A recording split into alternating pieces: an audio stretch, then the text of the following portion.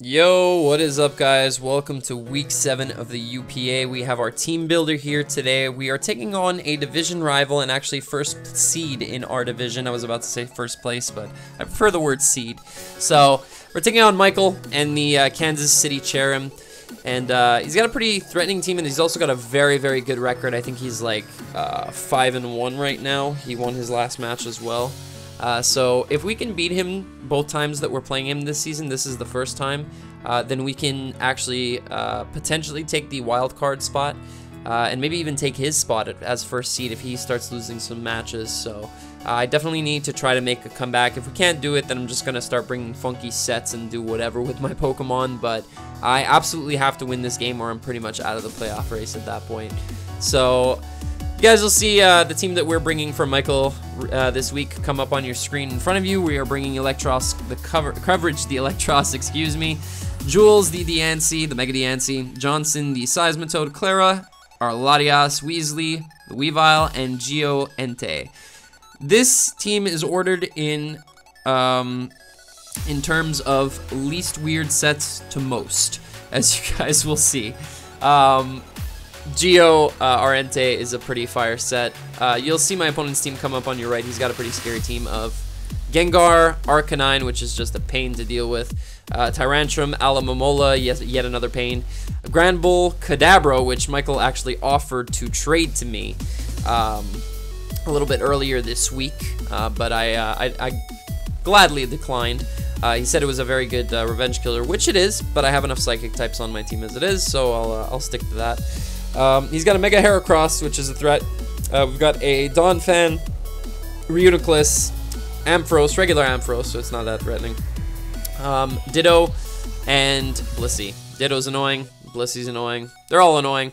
Uh, he's got a lot of annoying Pokemon, a lot of fat walls, such as Arcanine, Alomomola, and Blissey. Even Granbull can act as a wall, and Donphan as well. Reuniclus is just insanely fat, so it's a very, very hard team to deal with, but I think we've come up with the right combination of Pokemon to be able to take it on. So the first one we have here is Coverage, our Eelektross. Rocking Leftovers, which is good for residual recovery, of course. Knockoff to be able to hit the Gengar, get rid of Blissey's item, and potentially break uh, Sashes if we need to. Get rid of Alomomola's leftovers, which would be nice. Maybe a Choice Scarf on Tyrantrum, Rocky Helmet, or leftovers on Arcanine. You don't know. Uh, could be a Choice Band as well. Knockoff is just a generally good move. Uh, more than likely not going to lead with this, actually, because um, I'm thinking of leading with Ardiancy, but uh, I'll get around to that. Uh, anyway, we're rocking max HP to be able to take uh, Gengar's Sludge Wave. We are uh, Assault. Uh, we were Assault Vest. Uh, now we're not. Um, Actually, hold on a second. I don't think I had any special attack investment. I think I was max special attack. Uh, Showdown decided to get rid of my EVs, so I had to figure out what the heck I was rocking, but I think this was it, yeah. I was uh, Assault Vest to be able to take a hit from the Gengar and fire back a knockoff, especially if it's Life Orb. This also takes on Ampharos very well. Uh, I can take on Alomomola and threaten it out. Obviously, I don't appreciate the Toxic. I also switch into Kadabra very easily. Um, Reuniclus as well, able to get a knockoff on the thing and Volt Switch potentially into Weavile, as you guys will see later our set. So this is um, this is our Eelektross. It's uh, it's basically a special sponge. We need one this week just because of the Gengar and the Reuniclus, uh, and of course the Kadabra, which I feel like he's gonna bring against me for some reason. Uh, the fact that he tried to trade it, he's gonna try to show me why it's so good. I have a feeling, but no, anyway. Um, so yeah, let's move on to our next Pokemon right here. I'm actually just going to pause it real quick, guys. Sorry about that, I had something stuck in my throat, but uh, we are back, and uh, we are back with Mega Diancie, Jules. We're rocking a very standard set this week, uh, which actually does pretty well against this team. We have uh, foreign defense, 252 special attack, with a naive nature because I do not want to be slower than Gengar ever. I want to at least be able to speed tie it, kind of with uh, like with Latios on um, on Mensa's team.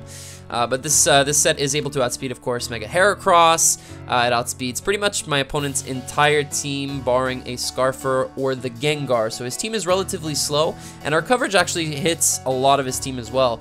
Moonblast able to take out the Tyrantrum from full, as well as the uh, Heracross after rocks, I believe. Uh, Reuniclus does not appreciate taking a, uh, a naive uh, Moonblast. We are naive, of course, because we want to uh, retain the um, the attack just for Blissey, so that I can hit it with uh, with Diamond Storm, which would be pretty good. Uh, Earth Power is there uh, for Arcanine in case it is a physically defensive variant. variant, yes, of course, uh, physically defensive variant. And it also hits the Ampharos for super effective damage, so uh, that's pretty good. Uh, and also able to hit an opposing Ditto slash Diancie.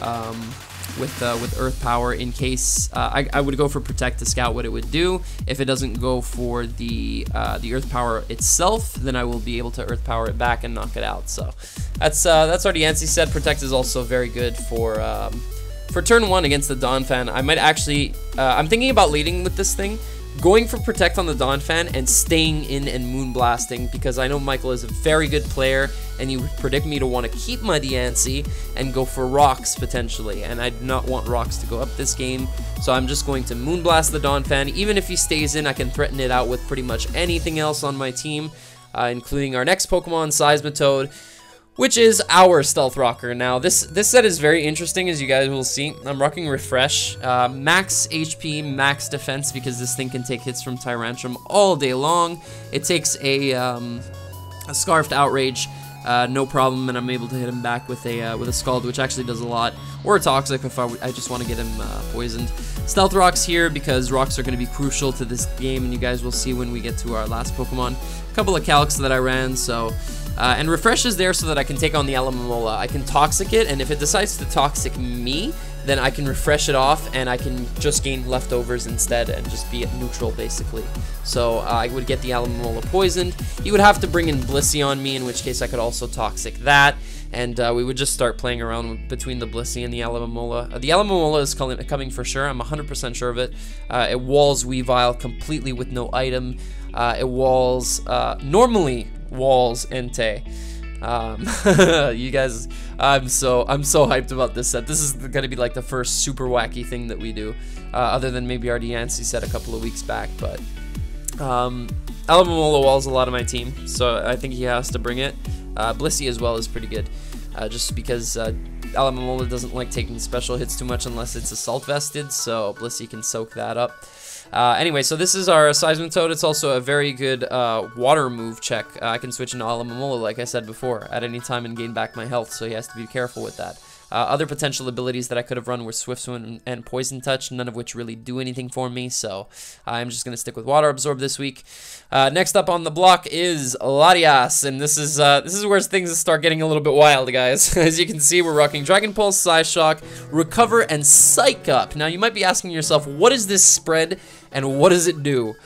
This is, if I'm faced with a Reuniclus that is setting up all over me, like let's say on my Seismitoad, and it just wants to go up to plus 6, plus 6 because I can't touch it and I'm not switching out, I'm just firing off Scalds. I can come in with Latias after, even if he's Shadow Ball. I psych up his Calm Mind boosts. I take like 35% from his Shadow Ball, and I'm able to 2-hit KO him with Psyshock if he went to plus 6. Yeah, that's what this thing does. As you can see, we're rocking 72 special attack. That's to be able to 2-hit KO him. Uh, the 148 in defense is because I want to be able to take his, his Psyshock when he realizes that Shadow Ball is doing nothing to me and I'm Psyshocking him. Because there is no way he is not clicking Shadow Ball in the first turn. There is just no way he's not clicking Shadow Ball. He's not going to predict me and go for Psyshock. There's no chance. And we're rocking 40 speed. The 266 is to be able to outspeed, uh, what was it again that hits 265? Tyrantrum. Uh, a non-scarf variant of Tyrantrum cannot outspeed me, uh, and I didn't need that much speed. I have enough to, uh, to take on the majority of his team. If he's rocking Adamant Heracross, I'll be able to outspeed that as well. Uh, I'm actually thinking about running a little bit more speed, uh, maybe toning down on the HP because we are leftovers. Um, and maybe bringing it up to uh, 273, but it's a little bit difficult. I do have to invest like another 40 uh, points in there, so it's not optimal. Uh, but this Latias is just going to be here to, to give off big hits. Um, Blissey doesn't appreciate coming in on a Psyshock ever in its life. And uh, Alomomola, same thing, doesn't appreciate coming in on a Dragon Pulse. This thing takes on um, Arcanine pretty well, uh, being able to, uh, to Dragon Pulse that as well, because its special uh, defense isn't usually what's invested into. This thing takes on Donphan if it's not rocking knockoff. Uh, can take on the Ampharos uh, minus Toxic. But its main goal is going to be to psych up a boost from the Reuniclus or anything else that he decides to set up with barring Tyrantrum because that thing would obviously take us out right away. Uh, I could also bank on a Confusion, maybe take his plus 6 plus 6. Uh, or his plus 2 plus 2 rather from the Dragon Dances if he gets up to that. And then I would be able to knock him out with a Dragon Pulse after. Um, wish I was running Outrage, but no. Uh, not to do that. So this is our Latias set. Our next set is uh, Weasley the Weavile. Now look at this. we are Leftovers, Knockoff, Poison Jab, Swords Dance, Substitute. Let me explain what this set do does, guys. This set, with the 40 HP investment, allows us to eat up a Scald from an Alomomola. Uninvested, of course. But behind a sub, it does not break the sub. I am able to get off a Swords Dance afterwards, and he cannot touch me. And Knockoff pretty much hits the majority of my opponent's team minus maybe Heracross. But if I'm behind a sub, Heracross can't hit me outside of Rock Blast anywhere, or Pin Missile rather. Uh, but if Heracross is eliminated earlier in the game, that would be amazing. I can set up with Weavile and basically nuke my opponent's entire team from that point on. Uh, the leftovers are there so that uh, I can get back up subs at any point. If the Alomomola is trying to, to just break my subs with uh, Scald, I'll be able to get, get up to plus 6. Poison Jab is there, of course, for the Granbull because I cannot touch it. Otherwise, Ice Shard does absolutely nothing. Um, behind uh, behind a sub, he actually doesn't intimidate us, which is nice, but Ice Shard at like plus six doesn't even knock out a Granbull, which is ridiculous. So uh, I'm not gonna I'm not opting for Ice Shard. I think Poison Jab is just overall better. I'll be also be able to hit the things that I don't hit super effectively with knockoff, I guess.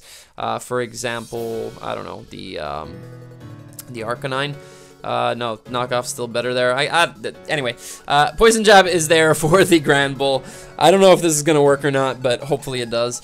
And uh, Swords Dance is always nice. So um, I'm really liking Swords Dance Weavile in league play. I think it's uh, I think it's the optimal set to bring in in most matches. Uh, because people will often switch out on Weavile into their counters, and if you have, let's say, a berry, uh, like a Wotmel berry for a uh, Ferrothorn, you are now at plus two. You're able to knock out the Ferrothorn, and you're able to knock out everything afterwards as well. So Swords Dance is starting to feel like the best possible Weavile set in general to me. And here goes, guys. I'm about to show you our win con. This is coming back to Alomomola. My opponent's only switch to a Sacred Fire from Entei. Because Entei can also go for Stone Edge if it's banned. So he can't go in, into Arcanine. His only switch into a Sacred Fire is the Alomomola. Let me show you how we're going to deal with this. We are Special Entei with Substitute, Calm Mind, Flamethrower, Hidden Power Ground. I will come in on a Mega Evolved Heracross. I'm faster. As you can see, we're 274 speed. I will go for a Calm Mind. Bluffing the Sacred Fire, I will go for a Calm Mind. And when his Alomomola comes in, I am going to substitute. As you can see, we have 431 HP. That means that Blissey can't break our sub. If he decides to run a special Blissey without Seismic Toss, then Surf ain't gonna break our sub either once we get up to plus 2. Calm Mind plus Flamethrower plus Hidden Power Ground. Flamethrower, let me show you what it hits. Gengar. Alomomola, actually. You'd be surprised, but at plus 6 plus 6, it does a lot. uh, it hits the Alakazam. And Alakazam can only break our sub with a... Uh, if we get up that high, of course, it can only break our sub with a Psyshock. It nukes Heracross. Nukes Donphan. Unboosted Reuniclus. Ampharos. Blissey. That's right, you heard me. Blissey, the special wall, is 2 hit KO'd from plus 6 plus 6. And yes, I can just sit and Calm Mind on it because it takes, it's only taking off 12% at a time uh, from me every time that I go for Calm Mind. So essentially just giving me a, uh, a burn turn uh, from hit, trying to hit me with Seismic Toss. Eventually I will end up behind a sub against it at plus 6 plus 6. If his Mega Heracross is Mega Evolved, it is the only thing that threatens me behind a sub because of the fact that it can break the sub and keep hitting me because of Skill Link. I outspeed that thing, and I knock it out with a flamethrower. Alomomola cannot break our sub at plus 6 plus 6. There's just no way, that, unless he crits the Scald, in which case I'll just go for sub again. But Hidden Power Ground hits Arcanine, Tyrantrum, and Ditto that becomes Entei. And his IVs will not permit him to have Hidden Power Ground on his Ditto. At least he shouldn't. Uh, he should bring a different Hidden Power like, I guess, uh, Ice or... Um, I don't know. It's basically something to come in on Latias, I guess, and be able to hit something else on my team. Maybe Hidden Power Flying for Chesnaught, who knows. But um, he probably will not have hidden power round. I very much doubt so. So he will not be able to hit us. And um, yeah, so that's pretty much it. Uh, hidden power ground hits everything that flamethrower doesn't, and I'm expecting to sweep with Entei.